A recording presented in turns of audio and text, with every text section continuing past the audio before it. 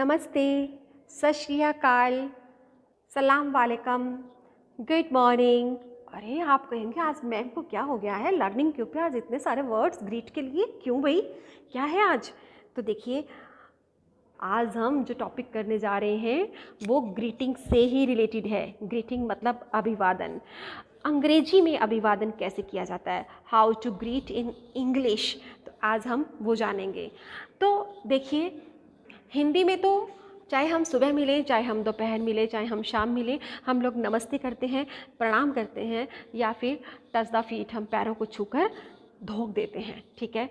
लेकिन इंग्लिश आपको पता है, बहुत ही फॉर्मल लैंग्वेज है। यहाँ पे जो ग्रीटिंग्स भी हैं, यानी जो ग्रीट किया जाता है, वो भी अकॉर्डिंग टू टाइम किया जाता है। कैसे किया जाता है? जानते हैं। मैंने हर चीज़ डिटेल में बताई है और वे बिगनर्स के लिए है। यानी कि जिसको बिल्कुल भी इंग्लिश नहीं आती, उसके लिए आज फ़र्स्ट डे चलिए लेट्स स्टार्ट सुबह से दोपहर बारह बजे तक यहाँ टाइम अलग होता है। ठीक है?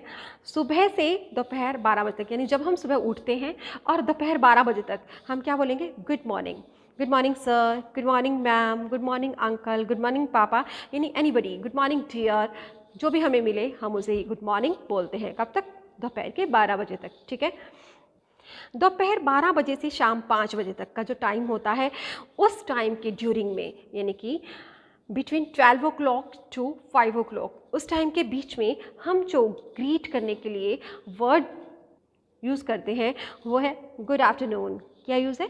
Good afternoon sir good afternoon ma'am good afternoon uncle aunt good afternoon papa या good afternoon dear friend X Y Z okay तो दोपहर बारह बजे से लेकर पाँच बजे तक के बीच में हम गुड आफ्टरनून का यूज़ करते हैं. क्लियर अब देखिए, शाम को पाँच बजे के बाद ठीक है? शाम को पाँच बजे के बाद जो वर्ड्स यूज़ किए जाते हैं विश करने के लिए ग्रीट करने के लिए, वो है good evening good evening sir good evening ma'am good evening papa good evening mamma good evening sis good evening fan good evening dear पाँच बजे के बाद सोने तक, ठीक है?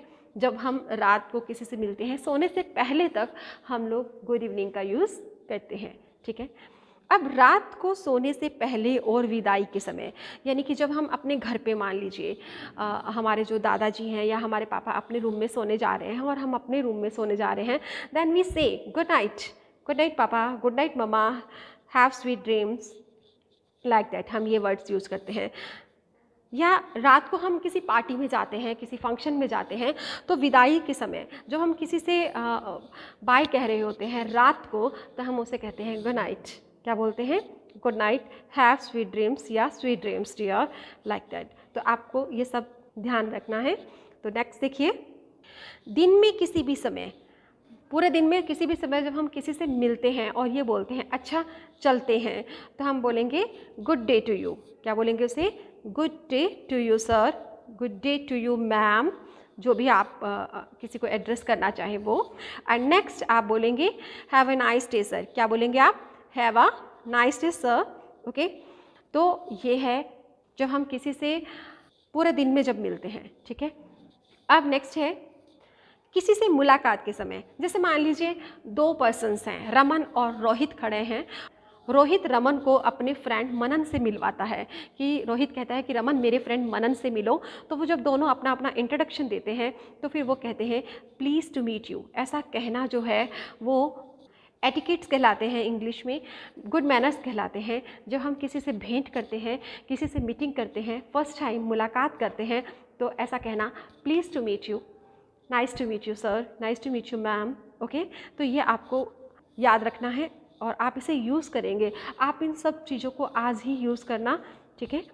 इनफॉर्मल ग्रीटिंग इनफॉर्मल ग्रीटिंग का मतलब अनौपचारिक अभिवादन। ये तो सब थे फॉर्मल जब हम बाहर के लोगों से मिलते हैं, जब हम अपने ही मित्रों से, अपने घर के लोगों से, अपने भाई बहनों से या बराबरी के लोगों से मिलते हैं, तब हम लोग, हेलो, हाय व्हाट्सअप ये भी हम यूज़ कर सकते हैं, ठीक है?